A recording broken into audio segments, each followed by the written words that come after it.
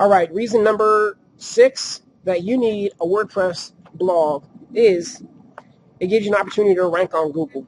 All right, so everybody wants to be on Google. I know you want to be on Google as well. If you own any kind of business, or the fact that you're watching this video lets me know that you want to rank on Google.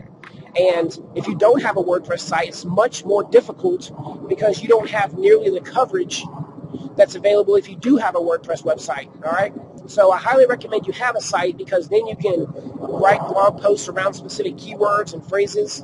Right. You can create pages and content around different search phrases to make sure that your content is visible whenever somebody's out there searching in your local market.